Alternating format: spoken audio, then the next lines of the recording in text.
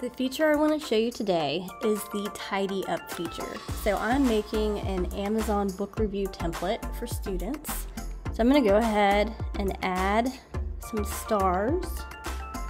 We're going to have to have some stars up here um, for students to rate the book. And I'm just going to quickly duplicate these.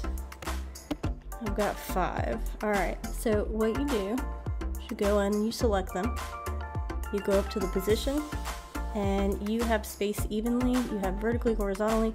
I'm gonna hit tidy up. There we go.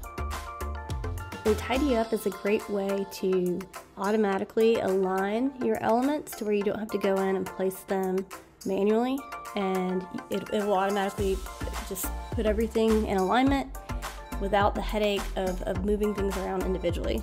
So enjoy the tidy up feature and don't forget to check the description for the link for the template.